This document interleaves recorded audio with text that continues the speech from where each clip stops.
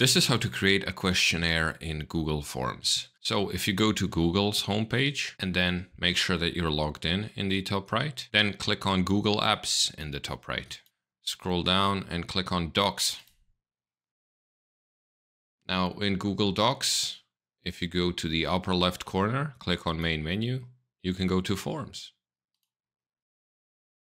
And this is where your forms will be stored. Then you can create a new form by either creating a blank form or using one of these templates. In my case, I will just create a blank one because it's the easiest. So click on blank form.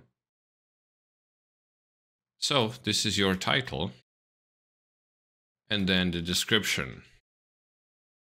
And you have one question at the beginning. Let's say that this is date of birth.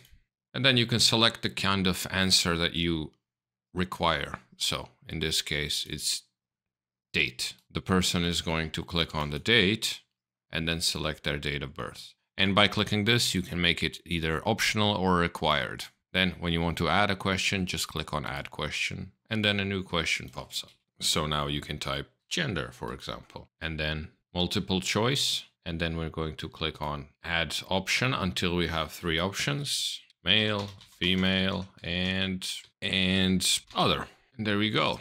Now we have two types of questions already. So now, let's say you can do the same with checkboxes. So in the checkboxes example, you can mark multiple things. And then you can also have short answer and paragraph for maybe job applications and similar. Once you've created your questionnaire, you can further customize the theme up here by clicking on this little palette. And then you can change the font, change colors and whatnot. You can play around with this. And then when you're done, you can just click send and this will pop up where either you can send this directly to somebody's email by typing their email right here or click here to get a link to it. And you can also click shorten URL so the URL is a bit more appealing.